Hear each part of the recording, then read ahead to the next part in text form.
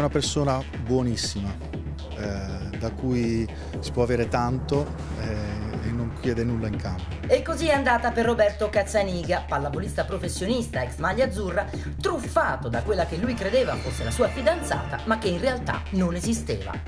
Ha dato tanto ma non ha ricevuto nulla, come dice il suo allenatore.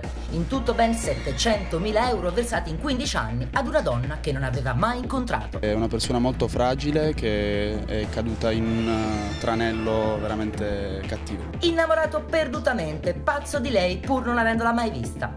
Era convinto che quella voce suadente che sentiva al telefono sotto lo pseudonimo Maya fosse la modella mozzafiato Alessandra Ambrosio. Ma, come sarebbe emerso poi, era solo una truffa. Passarle al telefono la presunta modella era stata un'amica, una certa Manuela. Contatti telefonici tutti i giorni, prima degli allenamenti, la sera al momento di andare a letto.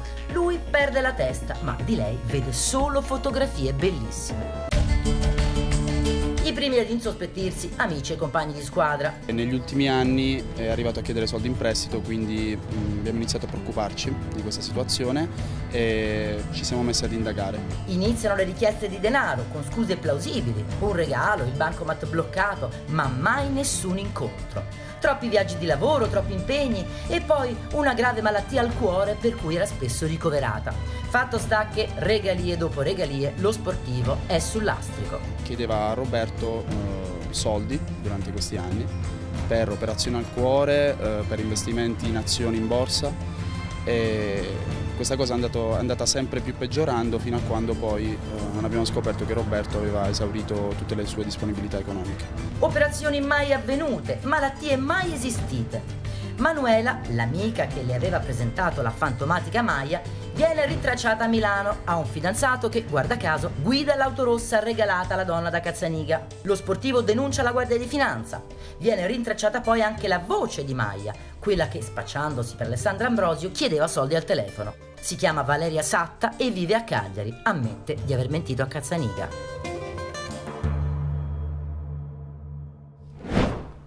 Dunque una voce che si finge di essere la modella che non è, di fatto mette in, alto, mette in atto la truffa e poi questa amica, questa seconda donna in questa vicenda.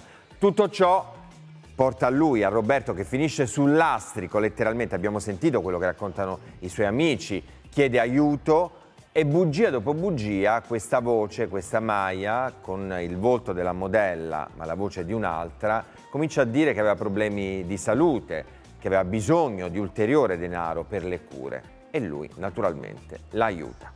Monica Arcadio, poi andiamo da lei in diretta, guardate questo documento. La cosa più importante è che Roberto da oggi comincia una nuova vita, cioè lui riesce a eh,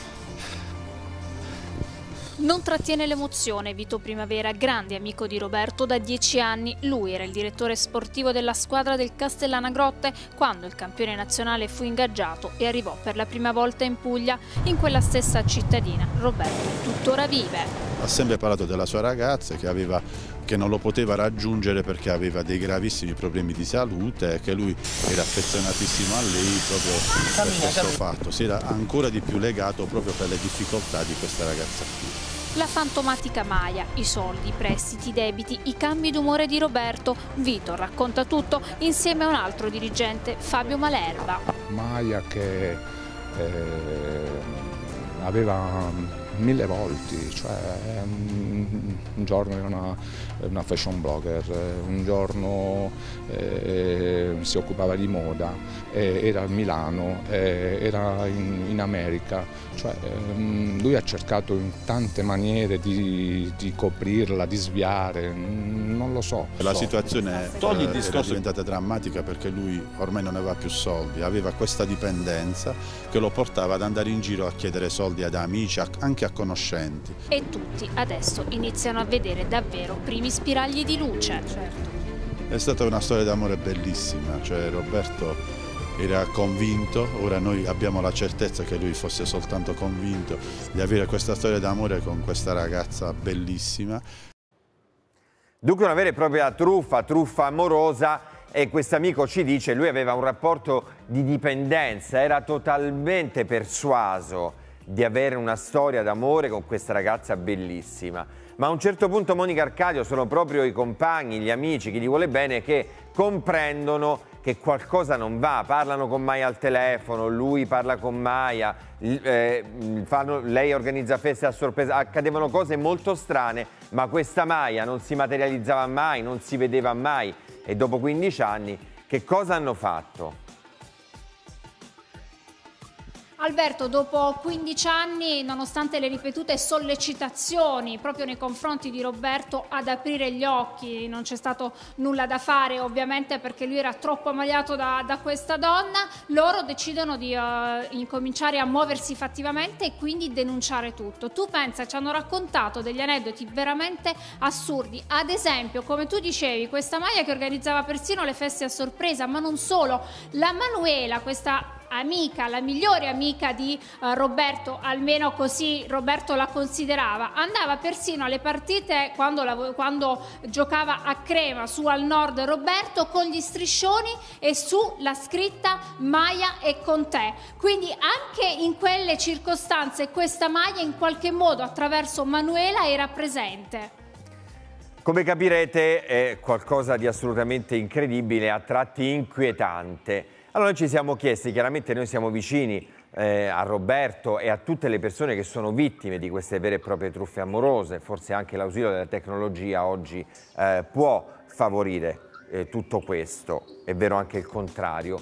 Ma noi cerchiamo di capire meglio eh, il profilo di questo campione eh, così forte in campo e forse così fragile nella vita. La nostra inviata.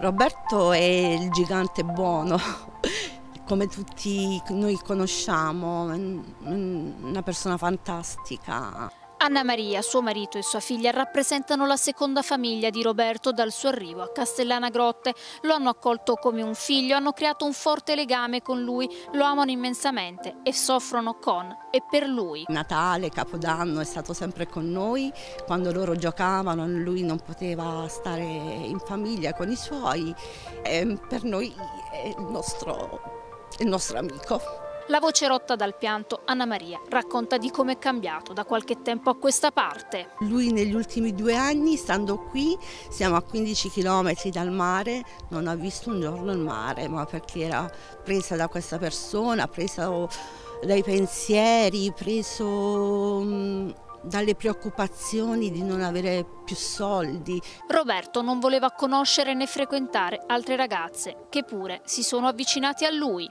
Per lui era solo Maya, non c'erano altre, altre, persone, chiaramente ne ha conosciute, però finiva lì, ma forse massimo un caffè, forse anche troppo.